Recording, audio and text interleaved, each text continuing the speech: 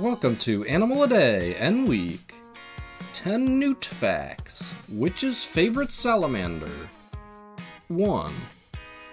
Newts are a subgroup of over 100 species of amphibians in the salamander family, along with true salamanders. 2.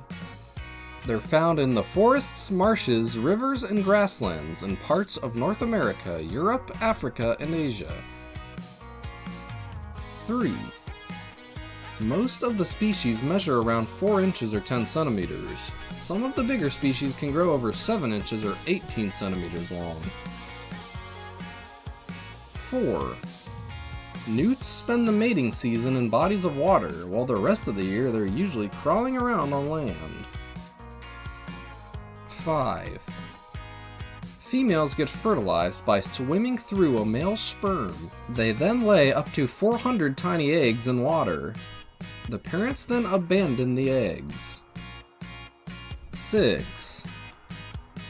Newts have fully functioning gills as tadpoles, but they turn into air-breathing lungs over time, which makes them lose the ability to stay under for long periods of time. Their skin can still absorb some amount of oxygen and water as adults, but not enough to stay under for extended periods. 7. Many kinds of salamanders have poisonous skin, and newts are no exception.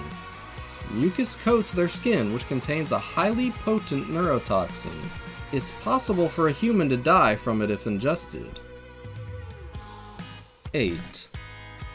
All newts are salamanders, but not all salamanders are newts. Just as all locusts are grasshoppers, but not all grasshoppers are locusts. True salamanders spend more time on ground than in water, and newts have more distinctions between genders. 9. They can regenerate lost appendages and organs, almost good as new, and over and over multiple times. Even parts of their eyes can regenerate, so that Eye of Newt witches are always using might not be that bad for them.